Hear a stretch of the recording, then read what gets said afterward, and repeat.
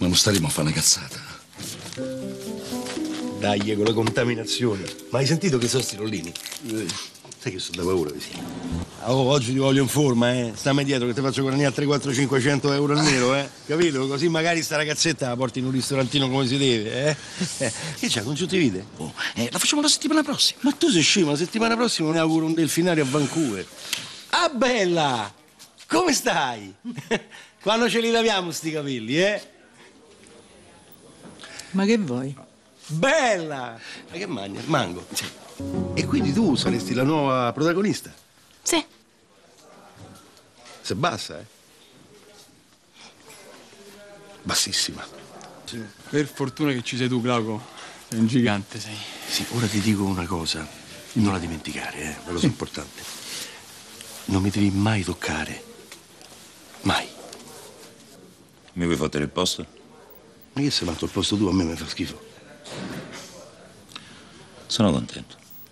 Lucio, ma che scherzi? Con quello che guadagni tu in un anno, io ci pago a malapena l'affitto della villa Johannesburg. Eh. Ti ammiro molto. Sto cercando il protagonista dello sequel, Ammalati e Morti. Ammalati e morti, il capolavoro degli anni Ottanta. Sì, però sto puntando molto in alto, una storia ambientata a Sulmona tra cento anni. E dico, sta bene. Non me la dà. Te. Stop! Scusa René, eh, Stani. Ma sai che l'hai fatta proprio male, male, male, male sta scena? Come male, male. Malissimo. Perché lì c'è una serietà, una precisione, un senso, porca puttana, etico del lavoro.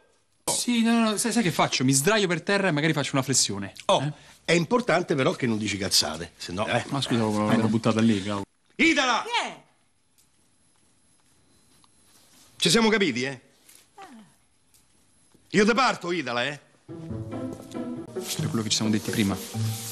Perché che ci siamo detti prima? Il protagonista del sequel di Ammalati e morti, il monopattino sul mondo. Ah, certo, guarda, sei in lizza con uno zingaro che ho visto a Tor di Quinto.